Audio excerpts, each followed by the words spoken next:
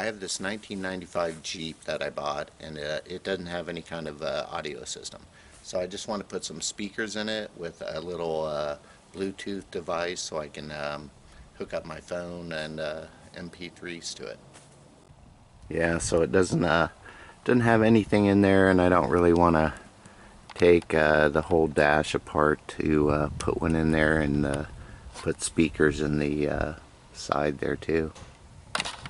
These are the kind of speakers I got. Um, they're Pyle ones. They're marine grade speakers, so they should be waterproof and a good pick for maybe the Jeep. Um, anyways, they're 100 watts and uh, you know 50 50 a piece, and um, we'll see how they sound. I'm not sure about the you know waterproof speaker, but we'll see. And this is a little chip I got from uh, again on eBay. It was like $15 for this, so I mean, man, that's pretty cheap, and it comes with this little remote control. So, you know, hopefully this will connect up to it, you know, so you don't really, you can just hide this way in a little box if you wanted to. Um, but anyways, I'm interested to see if it's going to work out. Hey, so I'm out in my barn. I found some scrap wood I had sitting around, so I'm going to try to build like a little speaker box out of uh, this stuff. So this piece I'm using is uh, not very straight and this edge isn't very well cut. So I'm gonna I'm gonna cut everything to uh, about six and a quarter inches.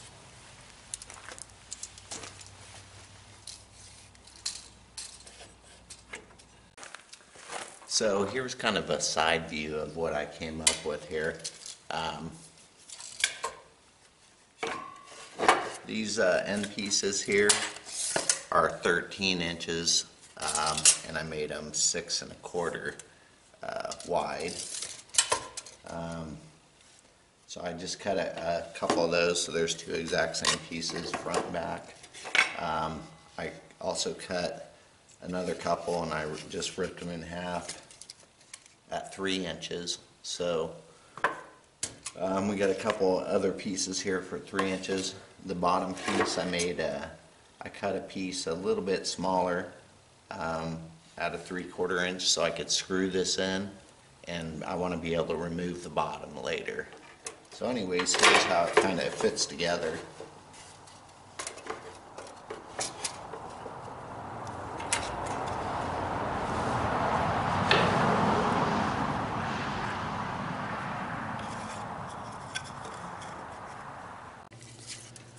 So I took my front piece here and uh, I took this off the back of the speaker, uh, the little gasket thing.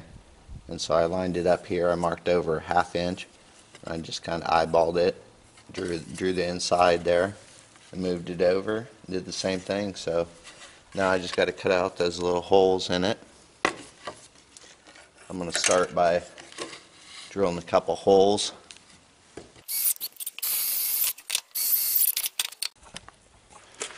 Now this doesn't have to be real pretty and the cuts don't have to be pretty because the speakers are going to go over top this and cover it up anyway, so it, it won't matter.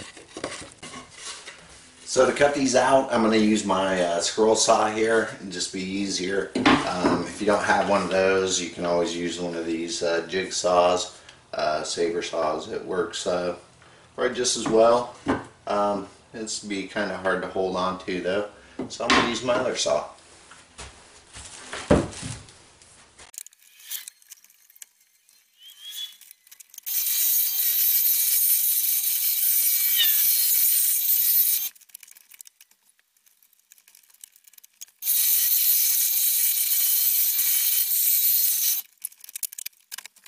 Okay, so I got my holes cut here and uh, I it out to make sure they actually fit in here.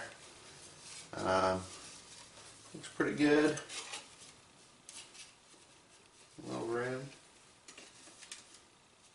Okay, they fit. So now it's time to, I'm going to just glue these and uh, kind of uh, nail them together with a brad gun. So I'm going to start putting it together. Um, I'm to just screw this piece, uh, the bottom piece down because I want to be able to take this out later. Um, and so I'm to screw this on and then glue and nail on all the rest of the pieces.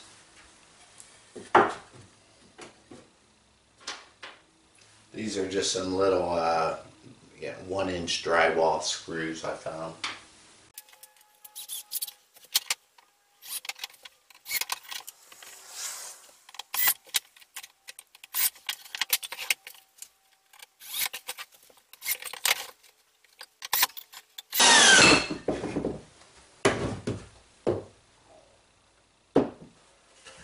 So there we go, we got this uh, screwed on the bottom now. I'm just gonna nail on the rest of the pieces with some glue.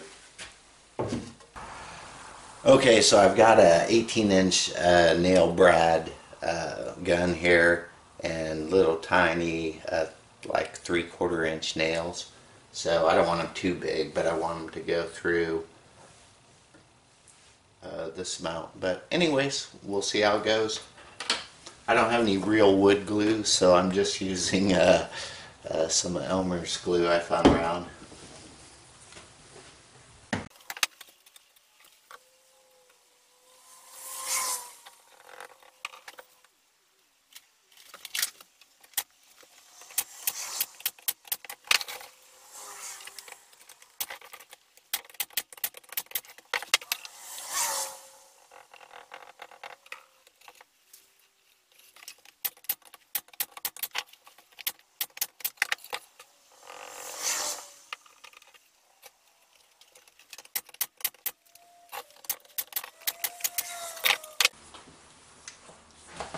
So if you don't have a nail gun, um, you need one.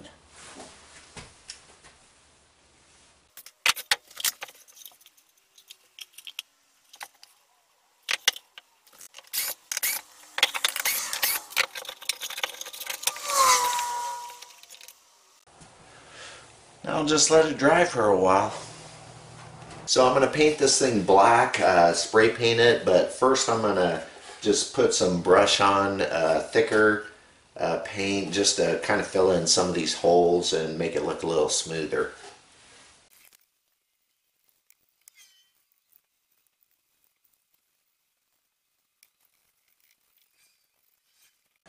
Now I'm just going to put on a couple uh, layers of black spray paint.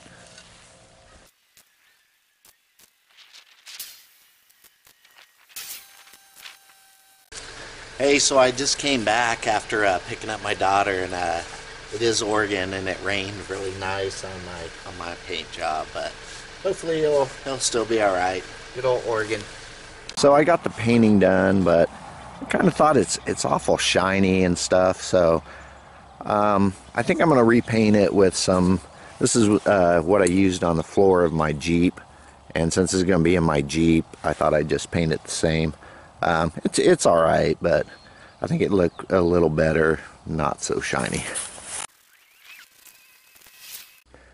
So it turned out pretty good. I like the uh, the look of it better than the shiny black paint, but we'll go with it.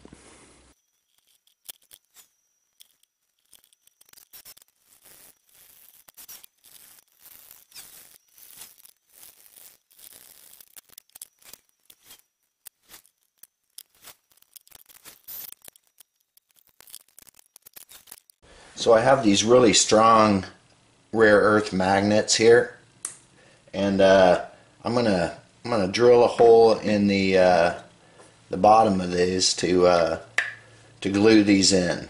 So I'm gonna drill a hole. I'm gonna rough these up um, so the glue sticks to them better. And then I'm just gonna hot glue them in the hole. And uh, hopefully that'll uh, work for holding this in place in the uh, Jeep. And then these are just temporary uh, just so I can push it up and down and pull out on this piece. Um, and I'm going to mount this uh, right about like it is there.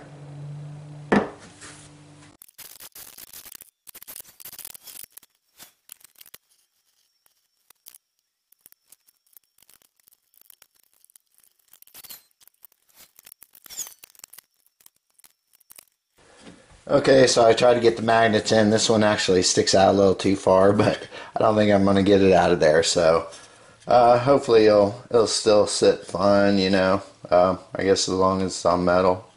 Uh, yeah, it'll probably work out.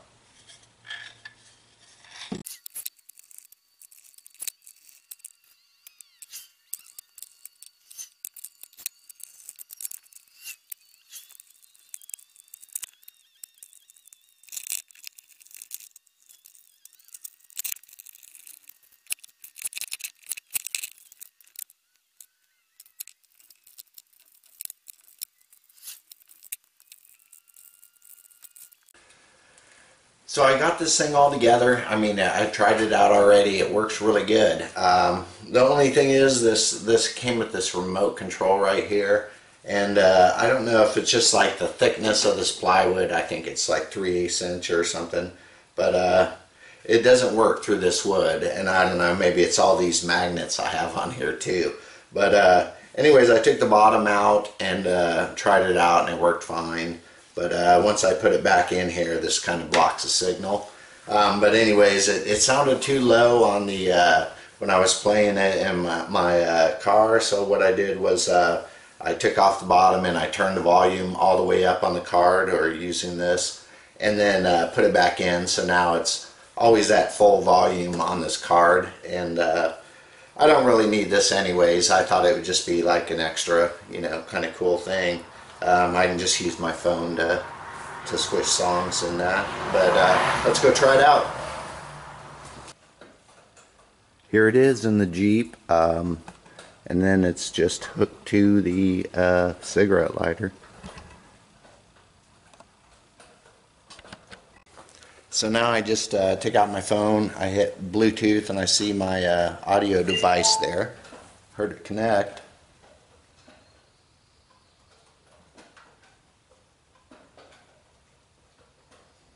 Now you can just play your favorite songs. We'll see how loud it goes. Maybe you can tell. It, it gets pretty loud.